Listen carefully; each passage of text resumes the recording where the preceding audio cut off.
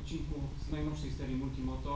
To będzie e, część poświęcona naprawom, budowom pojazdów, część warsztatowa. Będziemy restaurować stare motocykle, budować motocykle z silnikiem diesla, naprawiać szkłady, przerabiać szkłady, przygotowywać do rajdów.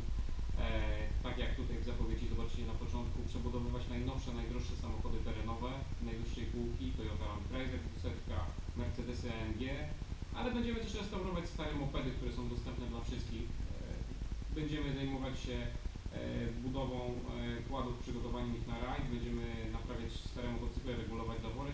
To wszystko pokażę Wam w Waszym odcinkach. Chciałbym, żebyście też e, napisali pod wątkiem, co Was interesuje i czym byli, co chcielibyście zobaczyć, a my będziemy starali się uzupełnić tą ofertę. Powiemy Wam o spawaniu, na pewno następny odcinek będzie o spawaniu, jaką maszynę kupić, jaką spawarkę kupić, żeby e, była najlepszym zastosowaniem dla, dla swojego domowego hobby, dla nie wiem, domu.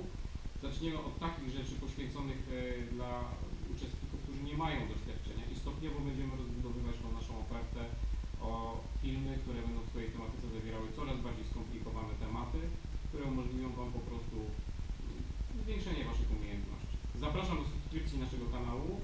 Obserwujcie to, co się dzieje w warsztacie Multimoto. Piszcie pod wątkiem, co chcielibyście zobaczyć i czego chcielibyście się